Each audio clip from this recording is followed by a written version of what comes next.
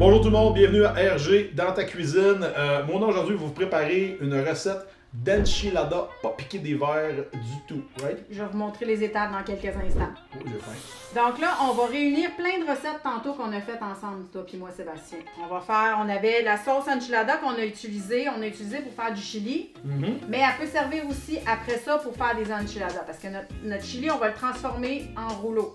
Parfait. Tantôt, on avait dit que ça servait de base de plein de choses. On avait parlé entre autres de l'enchilada. Mhm.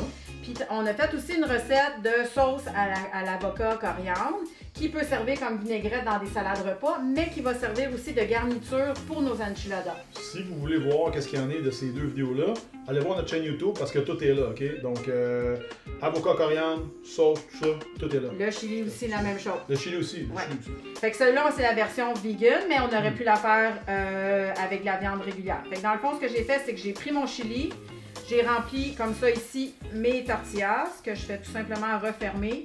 Puis je m'arrange tout le temps pour mettre la fermeture en dessous. Les discours sont bien loadés. Mais souvent, c'est ça qui arrive quand tu vas au restaurant où quelqu'un t'en fait, tu te ramasses avec euh, sais, ben du pain avec juste une slice dans le milieu qui est un peu déprimant. Parce que là, on a une bonne poche de viande bien C'est pour ça qu'on dessous, parce qu'après ça, tu peux Hmm. prendre juste une, une spatule pour aller le ramasser pour le mettre dans ton plat. OK? ça, Fait que dans le fond, ça va donner comme ça ici. Là. On, on le scoop puis on le met dans Ah, l'assiette comme ça ici. lui bien cuit. Là. Ouais. Fait que pour la cuire, dans le fond, ce qu'on fait, c'est que notre, on va mettre, vous allez voir dans la recette papier, on vous dit combien, on met de la sauce enchilada sur le dessus, tout simplement. Comme ça ici. On va cuire ça combien de temps? C'est euh, juste 15 minutes, on va juste mettre un petit peu de fromage aussi sur le dessus. C'est mauvais, ça. Ouais, hein. Tu peux ne pas en mettre aussi, là. On va voir, mais pas mal. C'est ce que je me disais. Bah ouais. Comme ça. On met un peu de fromage sur le dessus. Fait que dans le fond, c'est pour réchauffer. Parfait. Ok, donc dans le fond, ton mélange aurait pu être déjà fait depuis 2 Oui. 3 jours. Puis là, tu t'en viens composer ton plat comme ça.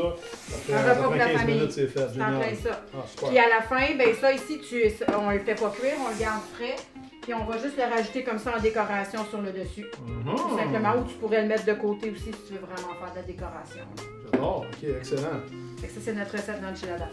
Excellent. Ben écoutez, ça a été toute une histoire, ces enchilada- enchiladas-là. Ça a été euh, notre histoire de la journée. Si jamais euh, vous voulez en savoir plus, vous voulez plus de recettes, suivez-nous. Première chose, abonnez-vous à la chaîne.